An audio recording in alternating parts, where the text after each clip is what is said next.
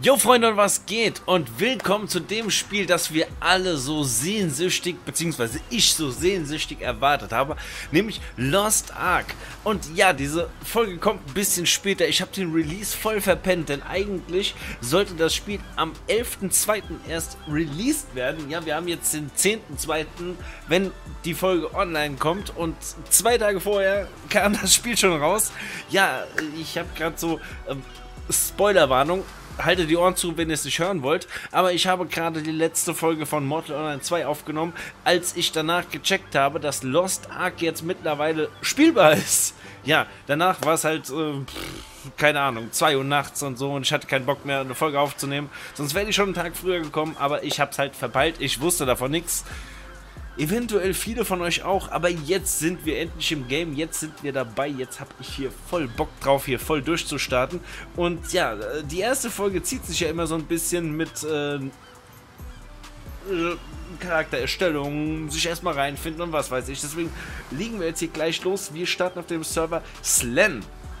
Das ist einer von drei, die momentan relativ gut sind vom Status. Man kann sich den Namen gut merken, Slen. Und ja, falls wir irgendwann in die Bredouille kommen, dass wir bei einer Quest sind, die wir nicht alleine schaffen können, Leute, ihr wisst Bescheid, Server Slen kommt da drauf, wenn ihr eventuell Bock habt, mit mir irgendwelche Dungeons oder Quests oder sonst was zu machen. Denn ich gehe mal davon aus, dass wir nicht allzu lange hier alles solo machen können. So, so Teilzeit ähm, Let's Play Together quasi. Aber okay, wir gehen jetzt rein, betreten. Oh, ich bin so aufgeregt, Leute. Ey, ich hype dieses Spiel schon seit Ewigkeiten. Und ich wollte mir halt nicht den Spaß versauen und schon auf den koreanischen oder, nee, russische Server waren es, äh, zu spielen. So, aber jetzt müssen wir uns hier erstmal reinfinden. Vorschau, fort, fortgeschritten, Geschichte ansehen. Was ist denn das hier? Vorschau, Berserker. Pistolenlancer. Paladin. Ja, okay, scheiß drauf. Ich will den Berserker. Wenn? Berserker ist gut. Geschichte ansehen. Schauen wir uns die mal an. Vielleicht haben wir jetzt was zu gucken. Das Land Jawohl, ich bin weg, Leute. Wir sehen uns das zusammen an. Alles in aller Ruhe. in Schuhscheier war gefroren durch die Macht von Sirius. Ein Gefängnis aus Eis, um die Flammendämonen Sirius, Grüße gehen raus. Du weißt Bescheid, falls du das hier siehst. Eis begannen sich Risse zu bilden. Fürst Sirius befahl uns, den Frostkrieger zu finden, um gegen die zurückkehrenden Dämonen zu kämpfen. Wir haben dich gefunden. Den Helden der Arena. Du hast dich in diesem Kolosseum aus Schmerz und Tod bewiesen. Nur du hattest die Kraft, Schuhshire vor dem Chaos zu retten. Wieder erwacht, verstärkten die Dämonen bald ihre Truppen mit den Toten. Man musste sie aufhalten. Ich habe meine Rache tausend Jahre geplant. Nur um zerstört zu werden von diesem kleinen... Du hast all unsere Erwartungen übertroffen. Aber unserer Welt droht noch eine größere Gefahr. Folge dem Pfad des Lichts. Nutze deine Stärke und vertreibe die Dunkelheit aus dieser Welt. Jo Freunde, ihr seht, also wir sind ein Typ, der scheinbar schon den Endboss aus einem nicht existenten Spiel besiegt hat. Jetzt sind wir ultra krass, aber es gibt noch einen noch, noch viel ultra krasseren Gegner, den wir jetzt besiegen müssen, so wie ich das verstanden habe.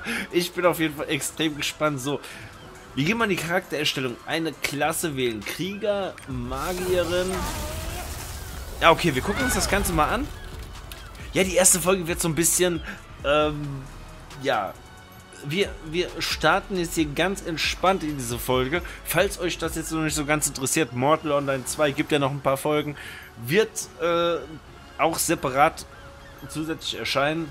Könnt ihr euch dann angucken, falls euch das hier nicht interessiert, aber eventuell für dumme Sprüche und sowas bin ich immer zu haben.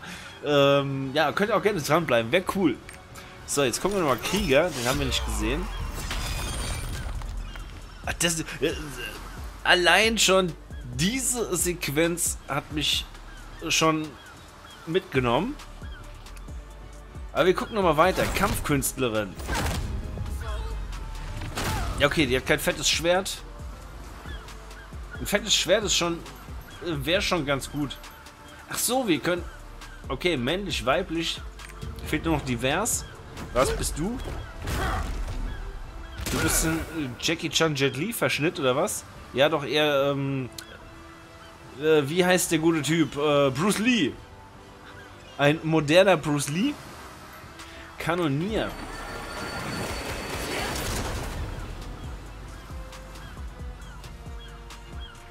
Okay, Kanonier finde ich ehrlich gesagt lame, aber wir gucken uns trotzdem nochmal die weibliche Version an.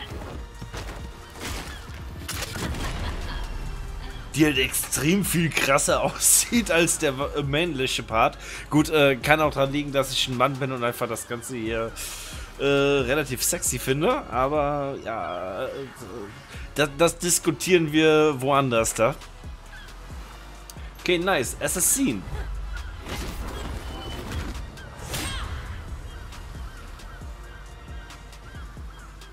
Okay, krass, jetzt bin ich übelst zwiegespalten. Ja, okay, die Frau ist auch wieder so ein Eyecatcher. Ich mag ja diesen dunklen, düsteren Look und sowas. Und gerade wenn das bei Frauen so angesagt ist und sowas. Aber Assassin und Krieger, das wäre jetzt halt wirklich so ein Ding, wo ich mir echt überlege, welches nehmen wir?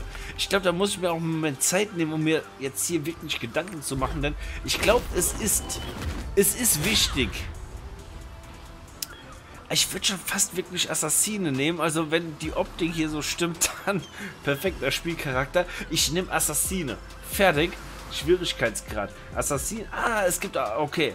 Assassinen verfügen über, ver, über verheerende dämonische Kräfte, sind flink und setzen zielgerichtet Angriffe ein.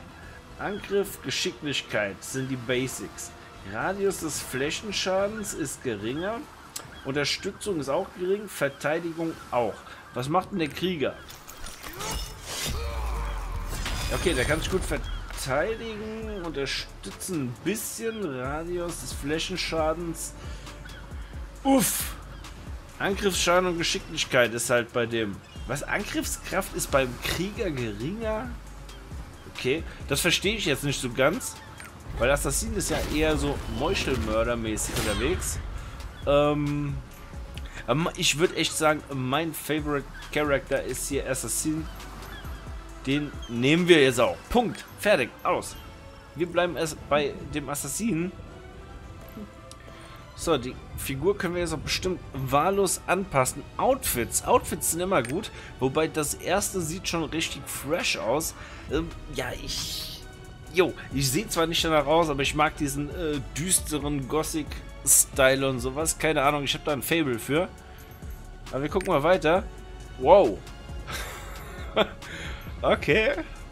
Ich will jetzt nichts Falsches sagen, aber ja gut, ich sage am besten gar nichts dazu. Ja, das ist mir hier... Ich weiß nicht. Boah, okay, für einen Assassinen komplett in weiß. Aber für die Comic-Fans unter euch, äh, das, das erinnert mich an das ähm, Marvel-Comic Moon Knight. Kennt ihr Moon Knight? Der Typ, der komplett in einem weißen äh, Kampfanzug unterwegs ist. Ja, ist ein Unikat. Keiner läuft in weiß rum, außer Moon Knight und sowas. Finde ich aber auch ganz cool. Soll, glaube ich, jetzt demnächst eine Netflix-Serie oder sowas dort zu kommen.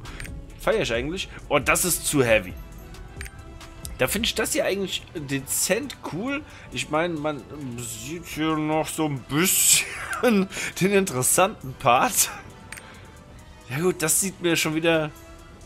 Ja, es wirkt interessant. Der Rock hätte länger sein können, weil man auch unten drunter halt nicht allzu viel mehr sieht. Aber ich bleib bei dem hier. Emote-Handlung. Was ist das hier? Oh nein. Was ist das? Das ist gar nichts. Okay, wir, wir knien vor jemanden.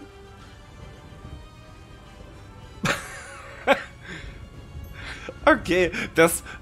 Also, da nimmt die Rolle des Assassin schon wieder so, also, so ein ganz anderes Bild für mich ein. Denn, ja... Ich weiß nicht. Leute, macht euch einfach selbst Gedanken drüber, was ich meine. Oh Gott. Das, das verknüpfen wir mal hier. Popstar. Popstar in Gothic. Oh, ich habe Spaß mit sowas. Ihr merkt schon. So, aber ich würde dann echt hier eher so dieses Ehrenvolle auf die Knie gehen wählen. Gespeicherte Anpassung Hintergrund auswählen. Was für ein Hintergrund? Achso, okay. Ja, ich glaube, der Hintergrund ist äh, nicht relevant für uns. So, Voreinstellungen. Ach so, jetzt können wir den Charakter noch hier komplett anpassen. Boah, das sieht nice aus. So richtig düster, dark. Ja, das hat auch was. Na, das nicht. Okay. Ja, ich glaube, ich habe aber schon mein Favorite direkt am Anfang gefunden. Also rote Haare sind auch geil. Na, das passt nicht. So, wir klicken uns einfach mal durch. Oh Leute, äh, also nur, dass ihr Bescheid wisst, wenn ihr jetzt hier ein äh, auf Action getrimmtes Let's Play erwartet, nein, muss ich euch enttäuschen, also je nachdem wie das Spiel wird und sowas, äh, könnte schon passieren, aber ich will das hier jetzt, also ich spiele das Ganze blind, ich will das Ganze hier genießen und das am besten mit euch zusammen. Ich hoffe, ihr feiert es äh, einfach mit mir gemeinsam diesen Weg durch Lost Ark ganz normal zusammen durchzuspielen. Mit ein paar dummen Sprüchen am Start, mit ein bisschen vielleicht äh, lockere Heiterkeit und sowas. Keine Ahnung. Vielleicht auch äh, diverse ähm, ja, Let's Play Together, wie ich schon angekündigt habe. Dass man vielleicht auch mal zwischendurch so mit anderen Spielern irgendwie eine große Quest anfängt oder sowas. Keine Ahnung, vielleicht machen wir das sogar als Livestream, ich weiß es nicht. Aber es wird hier. Wir erkunden das Spiel gemeinsam zusammen und ich hoffe, ihr habt alle Spaß dabei. So, ich bin für den Char, oder was war das? Na, ich mag das lieber dunkel. So, wir sind ein komplett dunkler Charakter. So, jetzt können wir hier nochmal ein bisschen ins Detail gehen. Also, zweites Standard.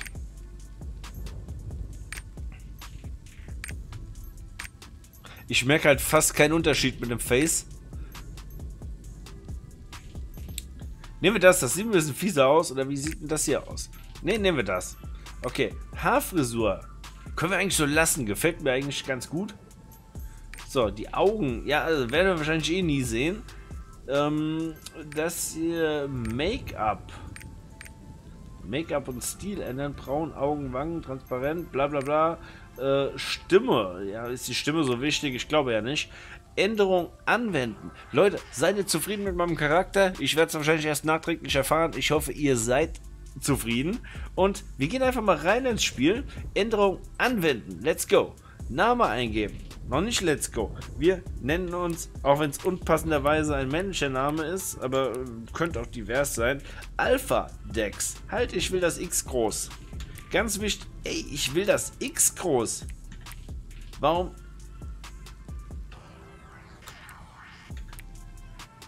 Ich krieg das X nicht groß. Verdammt! Die trollen mich. Alles... Ah ne, das Dex geht auch nicht groß.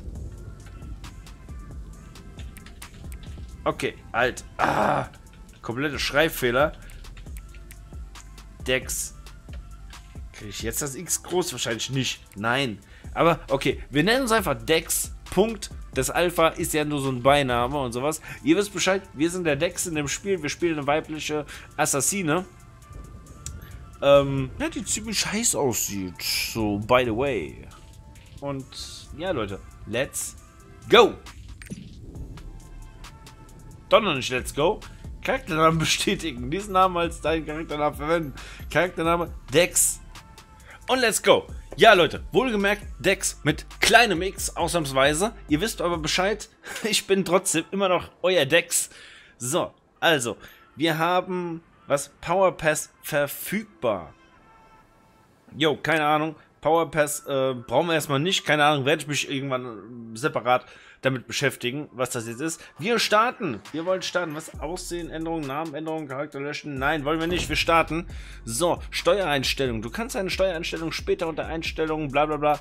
Angriff mit Linksklick, Angriff mit Rechtsklick. Ähm, ja, links. links bleiben wir. Und ja, weitestgehend äh, lassen wir das jetzt so. So, wir starten einfach mal. Vielleicht können wir das im Nachhinein noch ändern, falls irgendwas nicht passt. Was haben wir denn hier? Einstellung für Unterstützung bei Lichtempfindlichkeit. Lichtempfindlichkeitsmodus. Verringert im Kampf und allen Sequenzen Blitze und andere visuelle Effekte. Kann in Einstellungen aktiviert bzw. deaktiviert werden. Standardmodus List, Li List ja, Lichtempfindlichkeitsmodus. Ne, wir machen Standard. Wir wollen ja hier alles sehen. Zwischensequenzen enthalten blinkende, flackernde. Ja, bla bla bla. Machen wir einfach. Passt schon. Wenn einer Beschwerden hat, unten in die Kommentare, ihr wisst Bescheid. Trixion.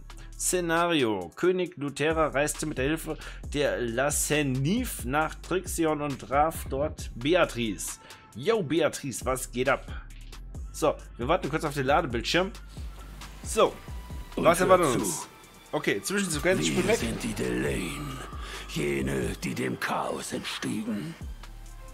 Wir sind die Avesta, die Beschützer von Phaeton, unserer Heimat. Wir wandeln auf einem Pfad zwischen Kontrolle und Auslöschung. Wir erhalten Missionen, die für andere nicht zu bewältigen sind.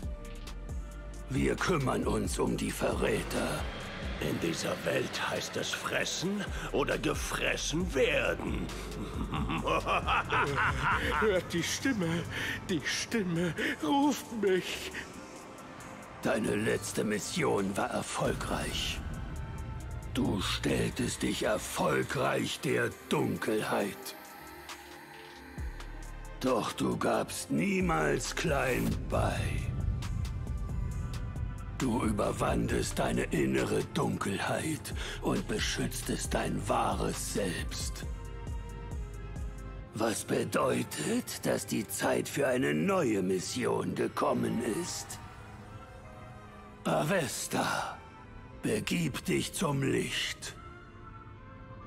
Und finde die Stärke, um eine Welt zu beschützen, die dich verachtet.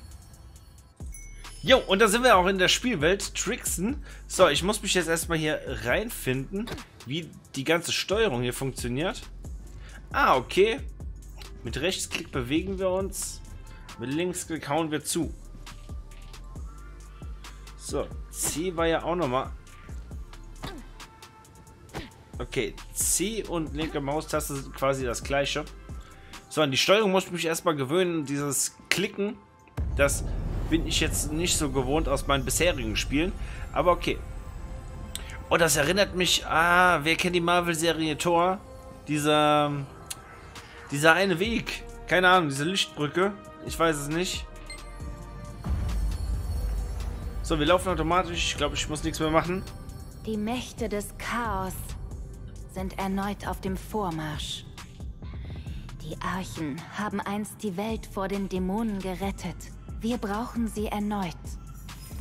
Versucht, den Folianten der Prophezeiung zu öffnen. Er wird den Weg weisen, den dein Schicksal für dich bereithält. Okay, wissen wir Bescheid. Wir müssen hier die dicke Bibel lesen, damit wir jetzt hier ultra krass werden. Mit einem Objekt interagieren auf G.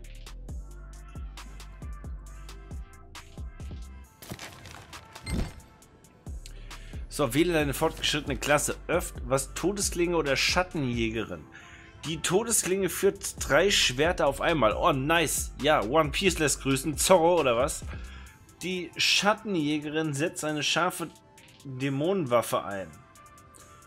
Ja, das ist halt eine Frage. Eine scharfe Dämonenwaffe ein. Das wird wahrscheinlich sowas wie eine größere Waffe sein. Und Todesklinge mit drei Waffen?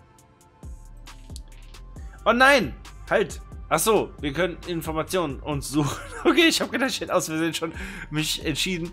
Ähm, greife Gegner an und erzeuge Todeskugeln. Drücke Y, um die Todestrance zu aktivieren und so mächtige Fertigkeiten einzustellen. Vorschau. Wir gucken uns das mal an.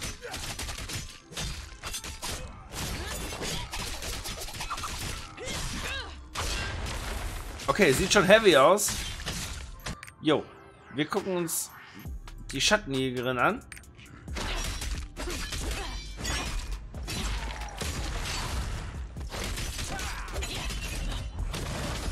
Wirkt halt deutlich kräftiger. Alter! Okay, ist genommen, ist gebonkt. Wir sind die Schattenjägerin. So, AKR, keine Ahnung, Beweglichkeit, Verteidigung, bla bla bla, ja, Klassentester. Durch den Angriff auf Gegner füllt sich dein Schatten. Jo, Klassentester, keine Ahnung, Stufe, ja, haben wir genommen. Standardangriff, C, drücke C oder linke Maustaste und ja, mach irgendwas. Klassenidentität. Durch den Angriff auf Gegner füllt sich, ja, das seht ihr hier gerade nicht, das ist hinter mir. So, äh, können wir aber fixen. So, damit wir hier ordentlich mal lesen können. Durch den Angriff auf Gegner füllt sich dein Schatten, was Schattenbärstanzeige. Drücke Y, sobald sie voll ist, um dich in einen Dämon zu verwandeln. Oh, nice. Wir können hier Dämonen-Power machen. So, ich bin mal wieder back auf meiner Position, damit ihr hier nichts verpasst. Wir werden das noch im Laufe des Let's Plays vielleicht ändern. Meine Position hier auf da, da, da ist immer schwer zu zeigen. Da, genau da. äh, je nachdem, wie die Anzeigen sind, damit ihr hier auch genug sehen könnt. So, wir können Monster beschwören. Oh, krass. Oh, die hauen mich. Okay. Ach so, wir können testen. Ah, verstehe. Die Monster sind nicht da, um uns zu supporten. Die sind hier da, um uns äh, ein bisschen... Ah, okay, verstehe, verstehe, verstehe.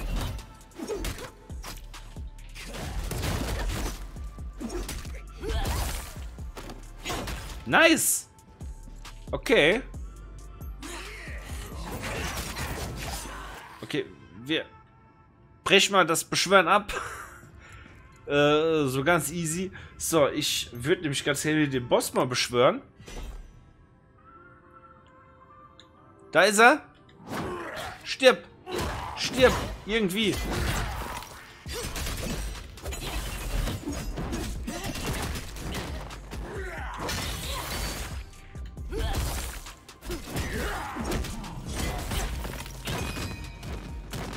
Okay. Ich muss sagen... Warum geht denn das? Ach so, wir haben Cooldown überall.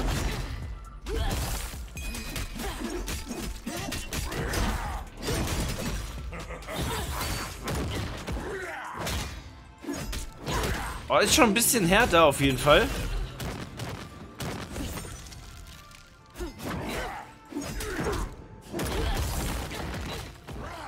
Alter, der gibt uns gerade voll aufs Maul.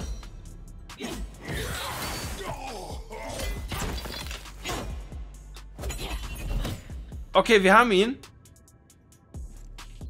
Oh, nice. Ja, wir brechen mal die Beschwörung ab, ganz schnell. Ähm, ja, ist halt ein Kampfsystem. Ihr seht hier unten, äh, dass man mit den äh, gewissen Tasten hier Fertigkeiten auswählen muss. Muss ich mich erstmal dran gewöhnen. Ich jetzt keine Art von Spiel, die ich bisher in meinem kompletten Leben jemals gespielt habe. Aber ich habe trotzdem voll Bock drauf. Ich bin gespannt, ob wir das Ganze gemeistert bekommen. Also nicht denken, ich wäre jetzt hier der Vollprofi mit diesen ganzen Tasten und sowas. Oder könnt ihr jetzt einschätzen, was hier am meisten Sinn macht und so. Ich werde es lernen, ich werde mir Mühe geben, ihr werdet es mit mir zusammen sehen. Ähm, und ja, selbst wenn ich verkacke, ist ja umso lustiger im Prinzip. Andere Klasse probieren. Test beenden. Ja, wir, nach der Testzeit wählst du eine fortgeschrittene Klasse. Möchtest du... Ja, wir bleiben jetzt hier in dieser Klasse. So, da müssen wir wahrscheinlich hin. Bestimme dein Schicksal selbst. Ja, wir haben uns für Schattenjägerin entschieden. Dies ist mein Schicksal. Ich muss darüber nachdenken. Ja, dieses ist unser Schicksal, Leute. Das ist auch ein guter Titel für die Folge. Dies ist unser Schicksal.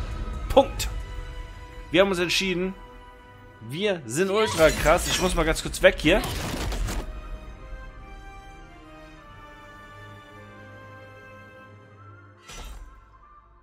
Jo, ihr wisst Bescheid, wer meine alten Folgen kennt. Der weiß, das war gerade ein Thumbnail-Effekt. Ähm, ja, äh, ich versuche immer Ingame-Thumbnails zu machen. Ist cooler als jetzt irgendwelche random Bilder und so. Ich könnte mir zwar die Arbeit machen, da irgendwelche selbst zu gestalten, aber die Zeit habe ich leider nicht. Deswegen versuche ich immer gute Szenen hier rauszuholen. So, da ist irgend so ein Engeltyp. Wahrscheinlich der oder die von vorhin mit der Schlagen wir jetzt mal. Regulus deinen gewählten Pfad segnen. Dankeschön. So. Quest. Wo muss ich klicken? Hier, Kreuzung des Schicksals. Also G. Die Mächte der Dunkelheit werden immer stärker. Auch diese verdammten Mächte der Dunkelheit. Immer wieder der gleiche Scheiß. Man hört es an jeder Ecke. Aber verzage nicht, mein Kind. Die Zukunft ist noch nicht entschieden. Ja, ich hoffe es nicht. Folge deinem Schicksal. Okay. Kreuzung des Schicksals. Ich konnte es nicht mehr lesen. So, da müssen wir hin. Du wirst jetzt deine ersten Schritte auf der Suche nach der Arche tun. Arcesias Zukunft Echt liegt jetzt? in deinen Händen. Oh nein! Ich, Das ich fühle mich maßlos Welt überfordert, ey. Ich halte den Chaos nicht mehr stand, Leute. Ich habe Angst. Oh mein Gott!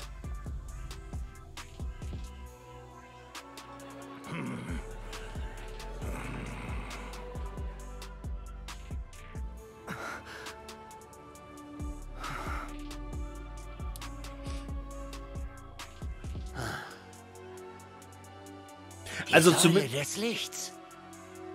Wir Also zumindest weiß jetzt weiter, jeder auf dieser Welt, dass wir gerade hierher kommen. Alte Freunde treffen. Nach 500 Jahren des Wartens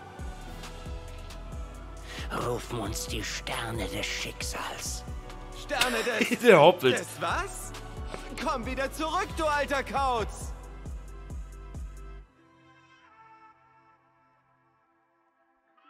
Sicher ist es richtig, wir sind irgendeine prophezeite Persönlichkeit, die jetzt hier gerade auf ultra krasse Weise, Weise in die Welt reindroppt und äh, jeder das mitbekommt und jeder denkt so, wow, der Erlöser ist wieder da. Kann das sein? Sehe ich das richtig? Ich weiß es nicht. Wir werden es noch mitbekommen. Beeilt euch, ihr Anfänger. Wir sind hier.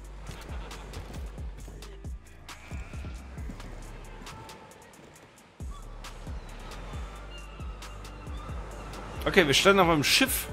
Nice.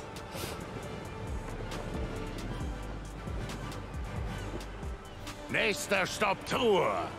Das vergessene Land. auf dem Weg in eine neue Heimat. Lost Ark geht los, meine Freunde. Jawohl, wir sind offiziell dabei. Puh, ich bin so gehypt. Ich kann es euch gar nicht sagen, wie gehypt ich bin. Ich habe so Bock. Und ja, sorry, dass ich das Husten jetzt hier nicht rausgeschnitten habe. Ähm, ich wollte jetzt die Szene hier nicht zerstören. Ansonsten würde ich mir... Ich huste öfters, nur dass ihr Bescheid wisst. Das schneide ich in der Regel raus, aber... Ja, Los, bring deine Sachen. Ride Home kommt gleich, also steig bitte noch nicht aus. Verstehe. wir heben genießen jetzt einfach kurz diese Szene. Gut, dann mal los. Aber das sind nicht alles Spieler, oder? Endlich bist du hier. Nee, ich glaube nicht.